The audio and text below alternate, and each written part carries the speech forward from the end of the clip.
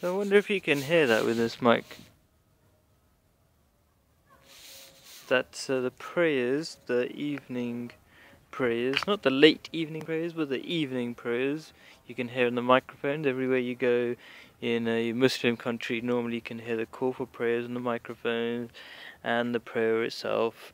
Um, so basically, everybody knows when the five daily prayers are. Each of the five, day, five daily prayers are. I'm on my um, uh, Maghrib prayer duties, which is basically closing up the chicken houses.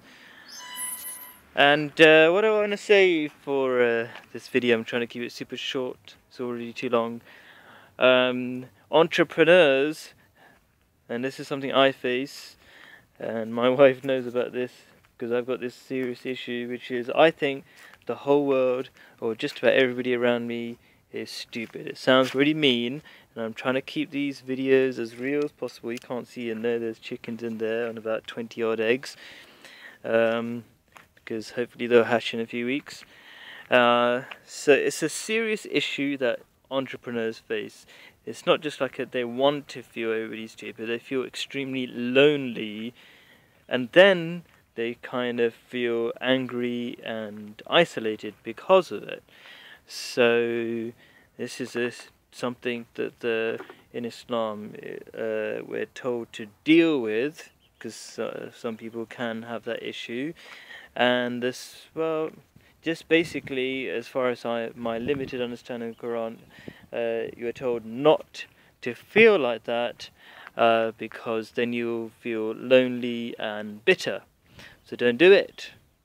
And um, even though I didn't read particularly why you shouldn't, I already know the answer because the common theme in Islam is to have humility, and everybody has a role in the world. So entrepreneurs have a role, but the so-called normal people also have a role. And if it was just for the entrepreneurs, entrepreneurs are maybe more selfish people who can't really understand um, like one-to-one -one communications. They can understand groups, but they can't understand one-to-one. -one. What's this? Some sort of bird in there? Oh, it's a... Uh, it's a... what's it called? A lizard.